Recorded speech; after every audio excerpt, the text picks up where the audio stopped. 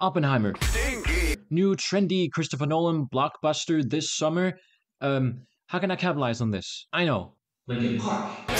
Trust me, there's a good reason for this, okay? A Thousand Suns from 2010 is the fourth full length album from American rock band Linkin Park, a band that I think a lot of people my age are at least somewhat familiar with, at least with songs like Numb.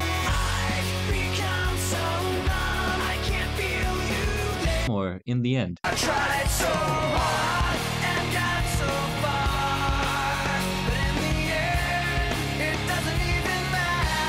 Well, personally, I am very familiar with these guys. I was absolutely obsessed with them in my mid teens, and returning to them later as the album connoisseur that I now am, I realized how good of an album A Thousand Suns is. This is a full blown concept album about nuclear war, of all things. Of course, being all about nuclear bombs, there are tinges of Mr. Oppenheimer sprinkled throughout this entire album. I think even the title itself alludes to this quote. If the radiance of a thousand suns were to burst at once into the sky, that would be like the splendor of the mighty one. This is the other quote that Oppenheimer took from the Bhagavad Gita, the Hindu scripture, the other one being more famous, of course. I am become deaf. To properly discuss this album, I think it's important to add some background context of where Linkin Park were in their career at the time, so let's back up a bit. Through most of their existence, the main setup of the band has been lead vocalist Chester Bennington, rapper and rhythm guitarist Mike Shinoda, lead guitarist Brad Delson, drummer Rob Bourdon, their turntablist electronics guy Joe Hahn, and their bassist Dave Farrell. This is the general lineup there is for all seven Linkin Park albums that exist to this day, besides their first album where Dave Farrell, their bassist, was not in the band yet. This whole dynamic, of course, changed with the passing of Chester Bennington in 2017, and the band hasn't released new material ever since. Anyway, their debut, Hybrid Theory, gained a massive appeal in the early 2000s. This album contains beloved classics such as In the End, One Step Closer, or even Crawling. Hybrid Theory is now certified diamond, having sold 32 million copies worldwide. That's equivalent to going 12 times platinum. On top of this, it is one of the best selling debut albums of all time, and it is also one of the best selling rock albums of the 21st century thus far. Hybrid Theory basically established the band's style of nu metal with a mix of hip hop slash rap. A typical Linkin Park album from around this time would consist of Mike rapping on the verses and then Chester bringing out his beast of a voice to sing on the chorus. They followed their insane debut up with Meteora in 2003. Meteora more or less continued in the same vein that Hybrid Theory started, and in many ways is just kind of a hybrid theory too, if you ask me. Nu metal has roots in bands such as Korn and would later on get mainstream appeal in the form of Papa Roach or Limp Bizkit. Hybrid theory was sort of the peak of nu metal, and in the mid 2000s, the whole genre just kind of died. Meteor is still a well beloved album, though it does have Numb and Faint on it, but it was playing on a formula that was ultimately going stale. And Linkin Park knew this. Their third album, Minutes to Midnight, was a tone shift and a half for the band. The songs across the board are more introspective, and songs like Leave Out All the Rest or Shadow of the Day are a far cry from the angry metal they once made. Fans were outraged that the band changed up their sound, and I still see people to this day disregard anything the band made after Meteora. I beg to differ though. In fact, I think Minutes to Midnight contains the best song that Linkin Park has ever made.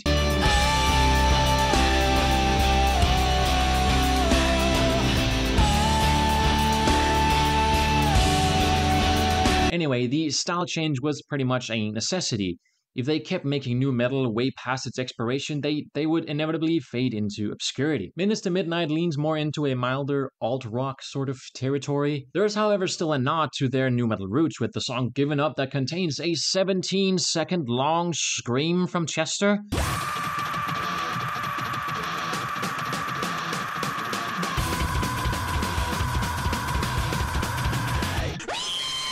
Despite this, the album did still do pretty well, going five times platinum. The song What I've Done ended up being one of their biggest songs and even got a place on the soundtrack of the first Transformers movie, of all things.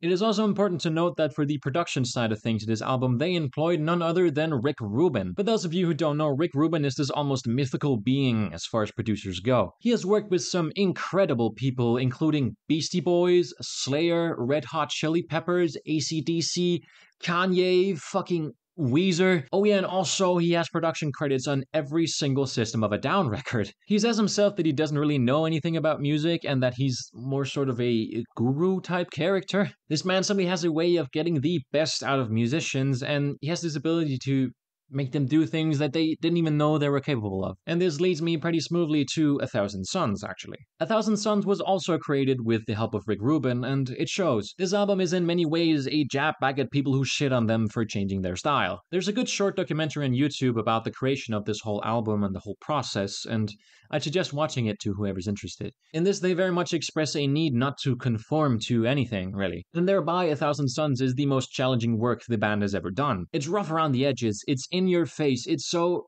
complete in every aspect. They're not trying to get hits with it, they're making a proper piece of art here. So buckle up for an album about nukes, samples of political speeches, and some peculiar electronic art rock. Let's break this album down.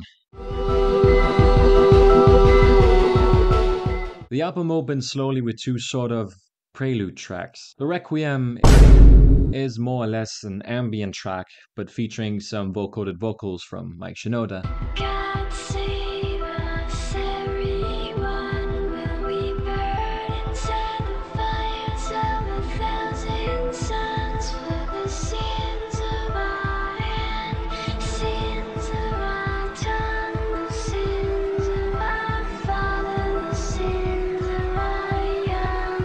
The single chorus is a good tone setter for the entire record. It smoothly flows into The Radiance, which features the famous I am become death quote from J. Robert Oppenheimer. We knew the world would not be the same. Few people laughed.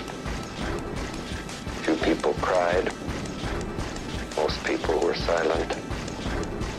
I remembered the line from the Hindu scripture, the Bhagavad Gita Vishnu is trying to persuade the prince that he should do his duty.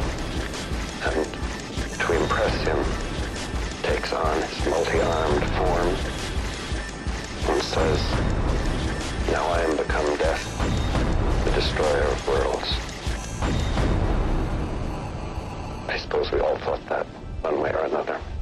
To add some background, this recording of Oppenheimer was broadcast in 1965, 20 years after he and many others witnessed the first detonation of a nuclear bomb. He recalls that he was reminded of two different quotes from the Bhagavad Gita here, both the the radiance of a thousand suns verse and then also the I am become death verse which he was then persuaded to say on television. Oppenheimer was very haunted of his own creation. This weapon of mass destruction that he helped make exist. You can hear the deep sadness in his voice as he delivers this verse, and there's just this indescribable expression on his face of the recording as well. It's really an ominous way to begin this whole record, but it makes all the sense if you think about it. Not only the fact that it describes Oppenheimer witnessing the first ever nuclear detonation, but also how it plagued and haunted him afterwards. And I think there's an essence of this notion throughout the entire album.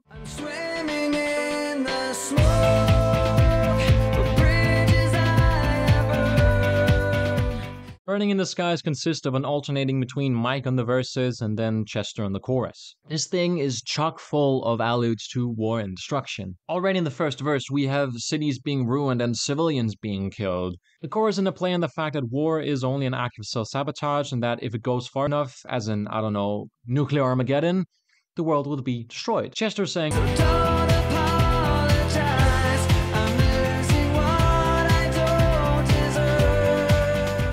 then alluding to the fact that as a species, we're dumb as hell. And maybe we shouldn't be allowed to destroy our own planet and ourselves like this. Wait.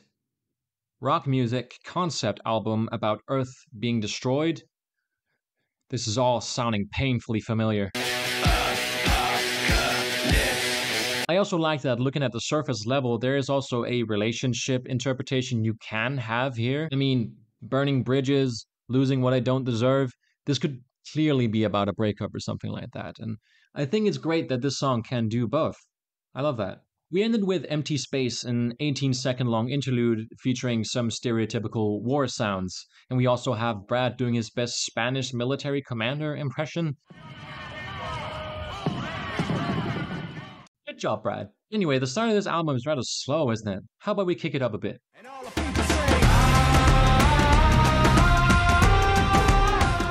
When They Come For Me starts with this minute long instrumental intro that's sort of getting you used to the whole beat that's going to permeate through the entire song. The instrumental starts with this chittering hi hat, and then built on top of that is these gritty and honestly kind of nasty sounding synths.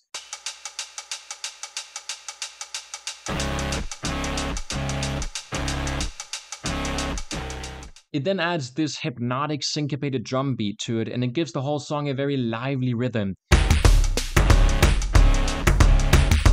And later on, there are added some more electronic shenanigans to make the whole beat complete.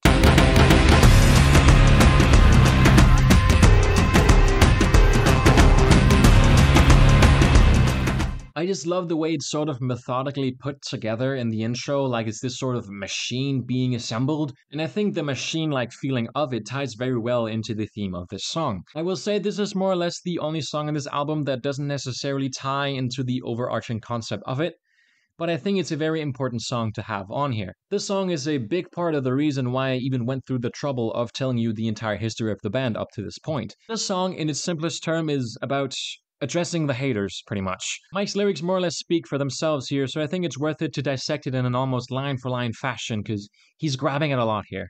It is also, in my opinion, some of Mike's best rap verses, so I'm just gonna talk about it because I like it, okay? Mike opens like this. I am not pattern to be followed. The pill that I'm on is a tough one to swallow.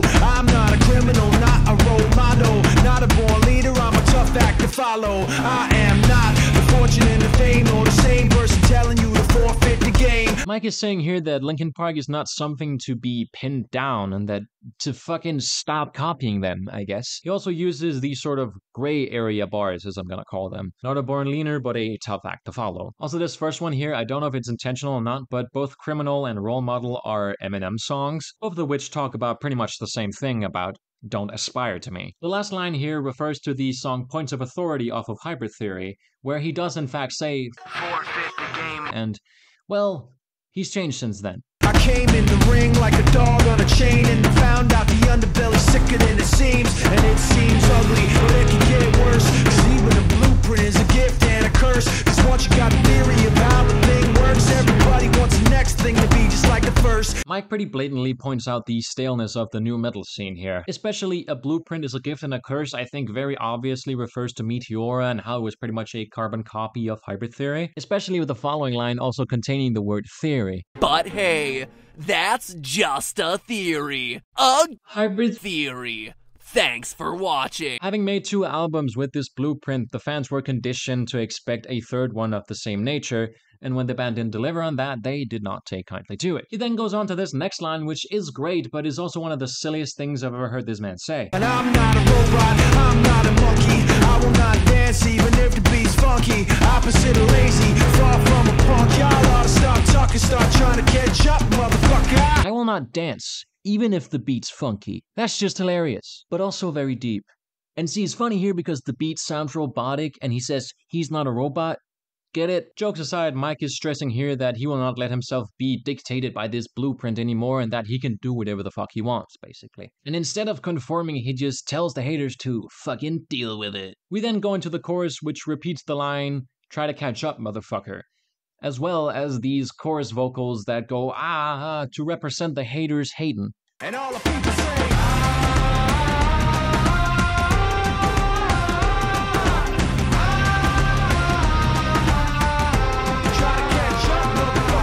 Mike then goes into the next verse with a bunch of references. So yeah, we got Lauryn Hill, Notorious B.I.G., Big Daddy Kane, and Public Enemy he's name dropping here. I imagine he looks up to these people and they are what inspired him to rap, basically. However, Mike is often overlooked as a rapper since, well, He's in a rock band. Mike wants to change that, so it's no wonder that he started his more hip hop oriented side project Fort Minor around this time as well. He then goes on to, well, show his skills.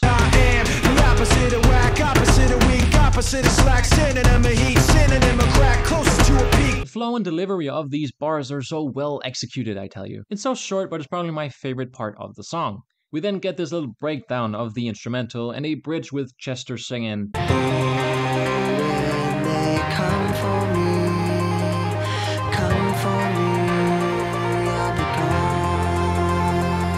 Towards the ending, the vocals of the chorus are expanded upon and they turn into these almost spiritual sounding vocalizations. You also get a little bit of Brad's Spanish commander impression again, gently reminding us that, hey, this is still the war album, man.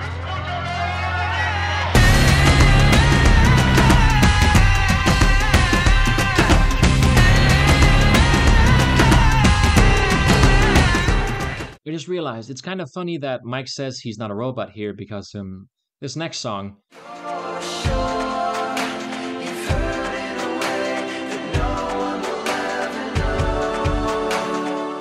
Robot Boy starts with this deep piano intro, and overall, the instrumentation of the song is rather simplistic, only accompanied by some simple percussion and some synths. The strength in this song comes from the ethereal vocal layering instead, not only in the main vocal, but also these harmonious background vocals that just makes the song feel so vast and spacious.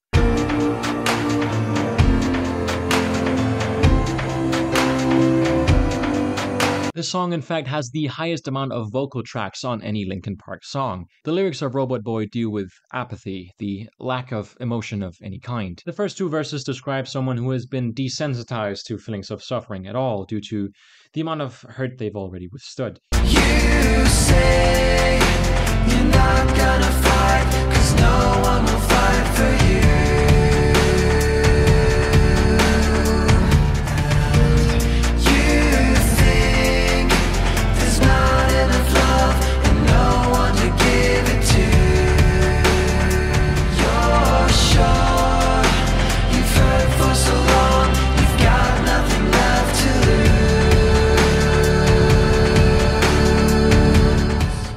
half of the song then turns these lyrics around, pushing for a feeling of hope instead.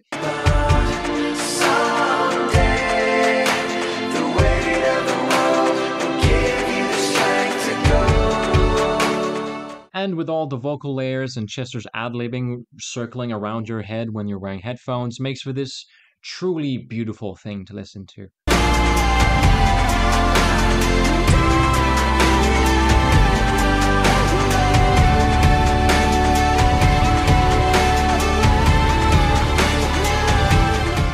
This song has a similar dual interpretation as Burning in the Skies had. On the surface, this could be someone who has gone through some sort of personal trauma which has led to depression and is then turned apathetic as his sort of defense mechanism. This song is then a handout to people going through these things and saying that there is still hope out there for them and that they should hold on. Reading it in terms of the concept, we can also see this as someone who has grown apathetic to the seemingly constant stream of death and war that is in our televisions and social media around us now. Seeing humanity destroying itself isn't exactly the most uplifting thing to see. And especially now when information is as ubiquitous as it is, our exposure to the horrors of this world is more than any person should ever have to withstand. Either way, this song goes out to all the fellow robot boys out there. There is still hope for you.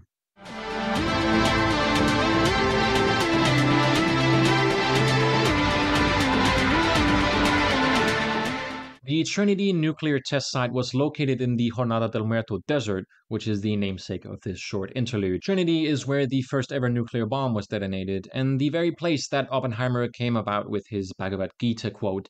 The lyrics are simply this repeated phrase in Japanese.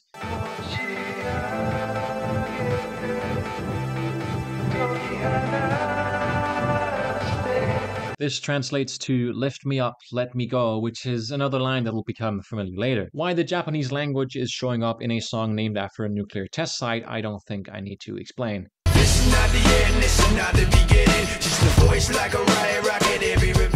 Waiting for the End is a beautiful, timeless song. It's definitely up there with some of their best work to date. It has such a well crafted balance to it. It feels lonely but crowded, depressing yet hopeful, quiet and loud. It has everything that I'd ever want in a Linkin Park song. If I had to show someone an example of what a Linkin Park song is after Meteora, this would probably be what I showed them. The song starts with this iconic synth line and then adds these small twinkling piano notes to it.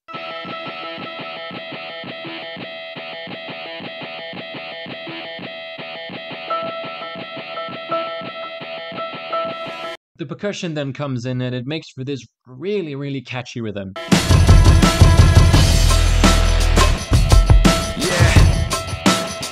We start off with a verse of Mike rapping, and this is where the beat mainly shines through. We then go into Chester's first verse. Here, the beat is cut down to just the piano, and then there's this droning synth that I hear is almost imitating a violin, and it all makes for this very lonely atmosphere as Chester sings. To understand what Chester's lyrics are getting at here, I think we get the best view from putting all of his verses together. Waiting for the end to come, wishing I had strength to stand. This is not what I had planned. It's out of my control.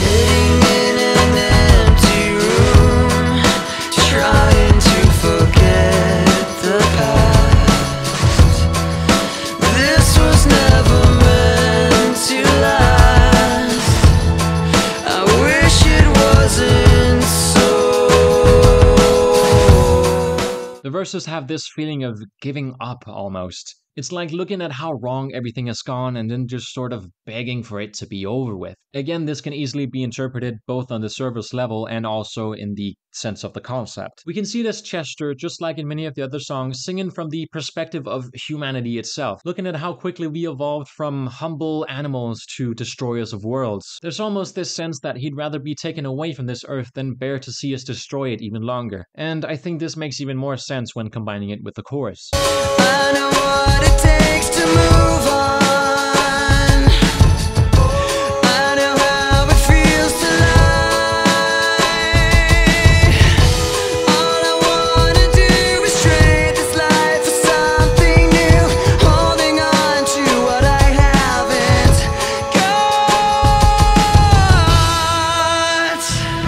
Throughout the entirety of Chester's vocals in this song, he sounds so haunting in his delivery, and there's this feeling of just deep sadness in his singing. Looking at it through the surface level lens, we can also see this about moving on from a relationship. Throughout the verses, too, it sounds like he's had a falling out with someone who he's now desperately trying to hold on to, even though he can't anymore. Towards the last leg of the song, Mike comes back in for a bridge and he spews more words about moving on, and I think mostly this is the essence of the entire song. I think for me at least, this song has sort of been recontextualized in the advent of Chester's suicide, especially the line in the chorus about trading his life for something new. I feel like there's a suicidal reading to that, and the themes of moving on suddenly become about moving on from Chester's own death. A lot of Mike's bridge has also resonated with me in dealing with loss in general. And trying to figure out what it's like on. Picking up the pieces now, where to begin? The hardest part of ending. Because Mike is simply right here. Yes, the loss in and of itself is tough, but figuring out how to go on from that point can be just as hard. The song ends with this melding together of Mike's opening verse and Chester's chorus, and it really just becomes this transcending soundscape.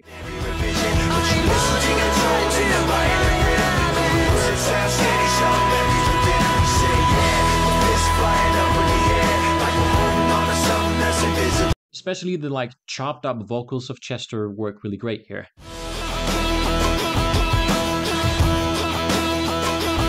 Chester's singing here also just transcends to another level and it leads to this just beautiful finish. Are you listening? No!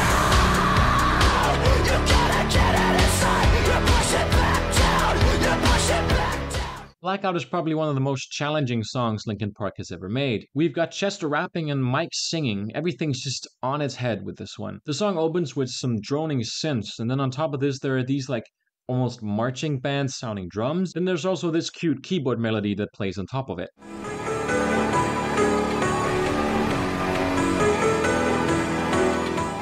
We then go into Chester's rapping, which works surprisingly well here. I mean, he already sounds kind of aggressive in these verses, and then he smoothly transitions that into his characteristic screaming in the chorus. You.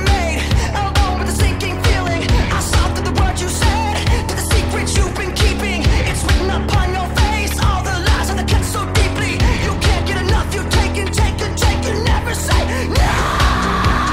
After another verse and chorus, we go into this gritty breakdown. A lot of it consists of these chopped up, glitchy vocals from Chester, and from the documentary, I saw that this was achieved by Joe Hahn mapping some vocal samples of Chester onto a drum pad and then just going nuts with it. Oh!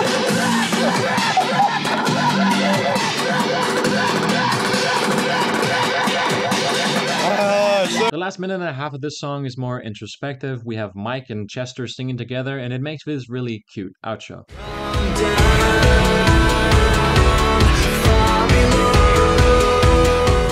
There's a lot of contrasts in this song.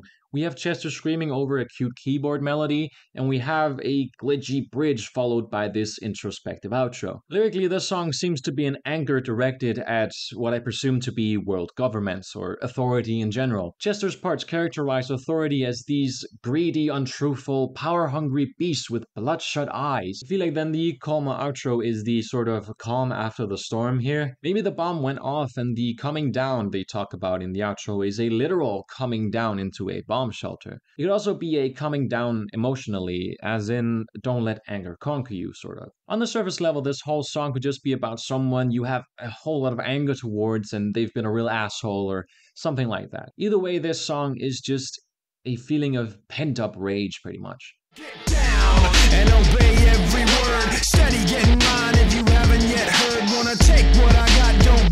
absurd. Wretches and Kings is another Mike centric hip hop track. When They Come For Me Too, Electric Boogaloo, if you will. We open this song with another political speech. This time it is the Bodies Upon the Gear speech by free speech activist Mario Savio. This speech was held at UC Berkeley at a time where political activity on campus had just been banned, and, well, this is a protest against that. In the song, we only get the last third of this famous speech, but the last part of it is probably also the most important one. I understand why they cut the rest of it, but I think we can grab some tidbits of information from the rest of it as well. We were told the following. If President Kerr actually tried to get something more liberal out of the regents in his telephone conversations, why didn't he make some public statement to that effect? And the answer we received from a well-meaning liberal was the following. He said, would you ever imagine the manager of a firm making a statement publicly in opposition to his board of directors? That's the answer.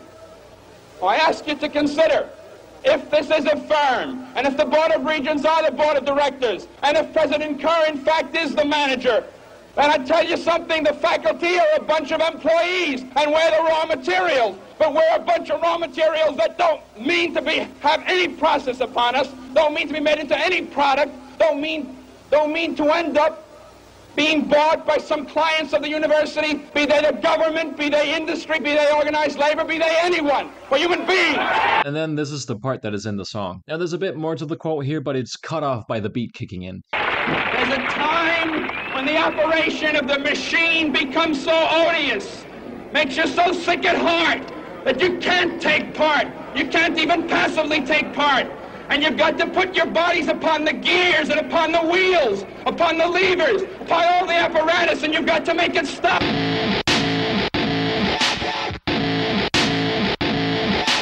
This speech, in tandem with the entire song, is about being controlled by authorities. Wretches and Kings as a song is ultimately about rising up against this. Just like in When They Come For Me, we have this robotic sounding beat, and I think it ties very well in with Mario Savio saying that we should rise against the machine. Mike's verses are spent on pointing out the injustices in society, and in many ways it ties up with the characterization of governments that Chester made on Blackout just before. This combined with Chester's chorus makes for pretty much just a uprising anthem.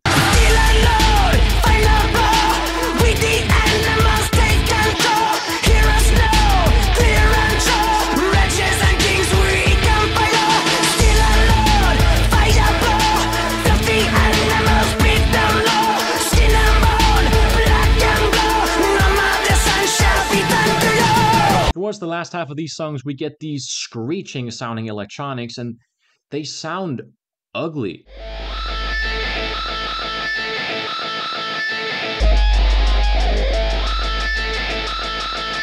But in the theme of the song describing authority as these wretched, terrible people, I think the ugliness has its place here. As an outro, we get a reprisal of Mario Savio's speech, this time with the part that was cut off in the beginning with it.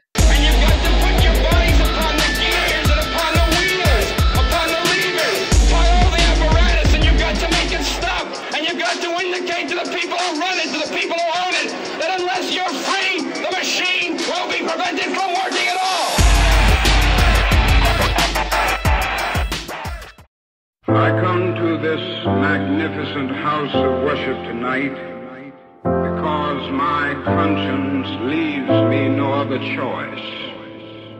I hope you're not tired of political speeches yet, because we've got another one. This short interlude features an excerpt from the A Time to Break Silence speech by Martin Luther King. I have a dream that one day you'll take a shower. I believe this song has resulted in one of the funniest looking writing credits I've ever seen. Written by Martin Luther King and Linkin Park. Like, yeah, it's true, but it just looks cursed. Anyway, this thing is also known as the uh, Riverside Church speech. First and foremost, it is a anti-Vietnam War speech. Now, this speech in its entirety is an hour long, so the thing that's in the song is only a mere snippet of the entire thing. I come to this magnificent house of worship tonight because my conscience leaves me no other choice. True revolution of values will lay hands on the world order and say of war, this way of settling differences is not just. As the speech goes on, it slowly gets more and more distorted. This business of burning human beings with napalm, filling our nation's homes with orphans and widows, of injecting poisonous drugs of hate into the veins of peoples normally humane, sending them home from dark and bloody battlefields physically handicapped and psychologically deranged. Cannot be reconciled with wisdom, justice, and. The last phrase gets repeated several times to the point of it sounding almost non human. Being an anti war speech and combining it with the voice losing the feeling of humanity, it sort of communicates the loss of humanity in war itself. You were standing in the wake of devastation. Iridescent is a proper ballad. It's a song of hope, of seeing the light at the end of the tunnel. And even though that everything looks dark, it's important to still have hope. I'll sound like a broken record here, but I think again we can look at both the lyrics as a surface level interpretation and in terms of the concept. I think especially the chorus was crafted with this in mind. Do you feel cold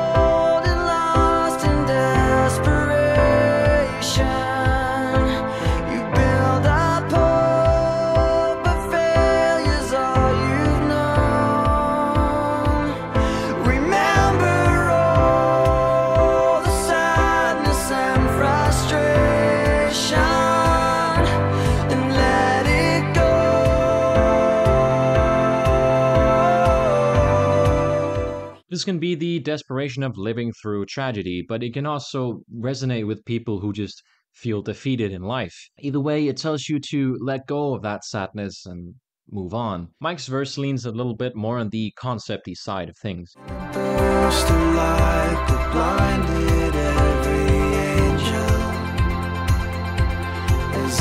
sky had blown the heavens into stars gravity of tempered grace Falling into empty space. No one there to catch you with the burst of light blinding every angel, equating to the radiance of a thousand suns that supposedly came with the detonation of the nuclear bomb. In the ending bridge, the chorus is reprised, this time with gang vocals from the entire band, making for this beautiful sense of unity and that to have hope, it's important to work together. There's really not much more to talk about here. I think the simplicity and universality in a song about hope just works very well here.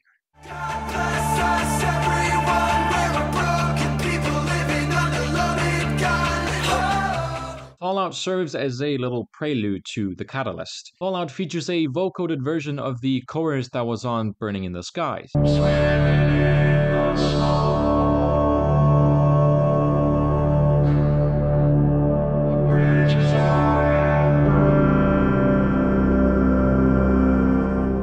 Burning in the Skies and the Catalyst are sort of tied into each other, mainly through their preludes. The Requiem, that started the entire album, features a vocoded version of a verse from the Catalyst.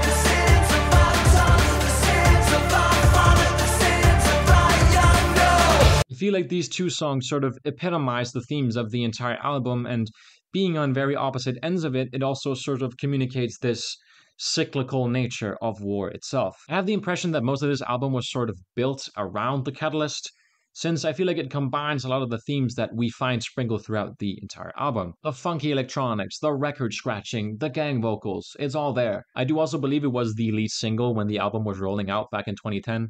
Its position after Iridescent communicates this sort of ever present cycle of hope followed by hopelessness, followed by hope, followed by hopelessness, just forever. The verses here even beckon God for mercy, and there's this whole, like, fear of atomic war that's going on. It can't be outfought, it can't be outdone, it can't be outmatched, it can't be outrun, no. The second half of the chorus I find sort of interesting.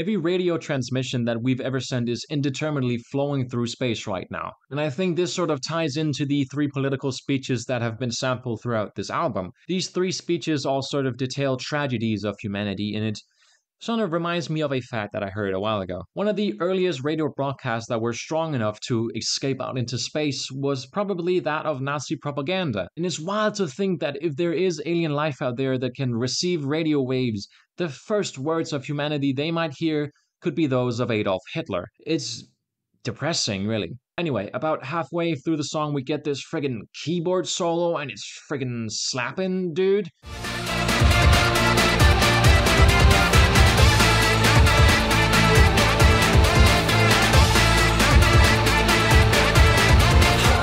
We then go into the bridge with Mike and Chester repeating the phrase,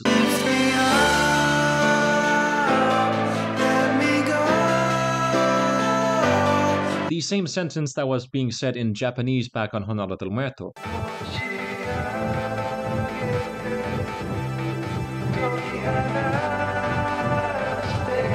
Believe this mantra is sort of a begging to be taken away from this earth, away from the chaos and suffering. And well, looking back at Jornada del Muerto, this kind of mirrors the Japanese people that were taken away from this earth after the atom bombings. I think it ties into Waiting for the End as well, with Chester singing about trading his life for something new. It's a phrase I believe permeates through the very fiber of this entire album. It's it's a yearning to just make it all go away.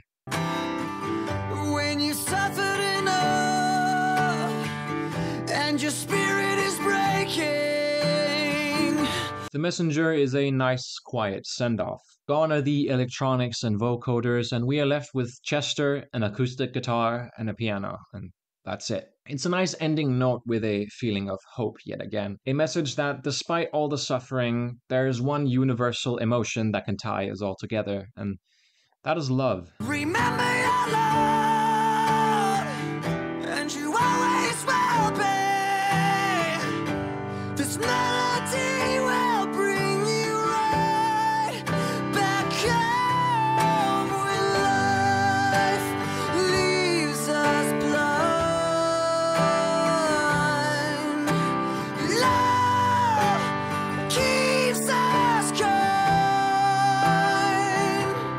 This song has made me cry on several occasions. We're in the end game now, Tinky Winky. A Thousand Suns is a thoroughly crafted conceptual masterpiece, if you ask me at least. It's an album that I feel like ultimately gets overlooked by many. I have recently seen it finally get some attention and recognition on YouTube, but I feel like it hasn't been broken down in a way that does the art justice. And that's why I made this video. Thousand Suns is a very unique piece of art and I feel like there won't ever be anything similar to it. It's not that fear of nuclear war or war in general hasn't been done before in an album, it definitely has, but it's the whole package combined that makes it so special. You could argue that I'm blinded by nostalgia here, but if that's the case, so be it. I love this album, I am passionate about it, and you can't say nothing about that. And besides the art itself, I believe the context of the band itself around this time makes it stand out even more. It's a turning point right in the middle of their discography. Linkin Park would go on to make another album in this sort of electronic space with Living Things, which is another album that I also hold dear. We're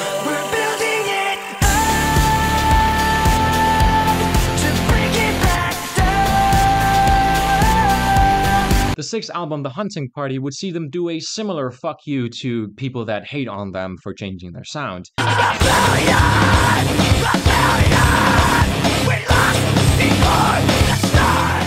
And then their latest album, One More Light, sees them going in. And One More Light was released just two months before the passing of Chester Bennington, and may he rest in peace. I don't think there's a single celebrity death that has affected me in quite the same way as Chester did. And I'm glad to still be admiring his legacy to this day. And I think that was it for this video. Thank you for watching. This has been a real passion project of mine. So if you liked it, that's great. And if you didn't, well, I don't mind. I had so much fun making this thing. But yeah, that's all I have. So um, see you next time, folks. Uh, love ya.